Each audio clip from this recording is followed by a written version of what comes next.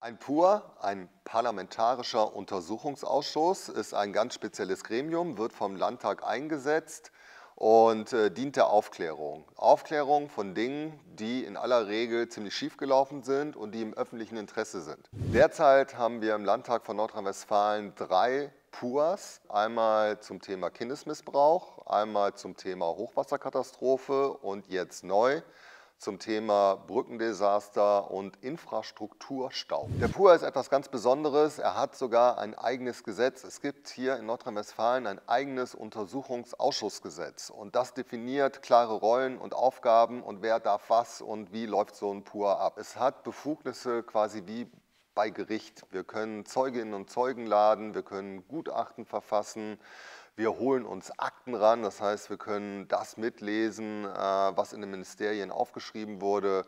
Das ist schon sehr weitgehend und das ist wirklich sehr, sehr besonders.